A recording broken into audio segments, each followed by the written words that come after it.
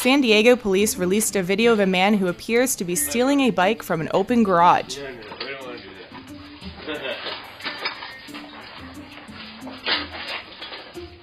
Before leaving, the suspect pauses to play with the family dog. because you're so cool. Come here. Because you're the coolest dog I've ever known. I love you too. You're, you're a sweetheart. Why don't you come me? Where's your dad? Dad! Are you? I love you too. Despite the lighthearted nature of the scene, police are taking the crime seriously.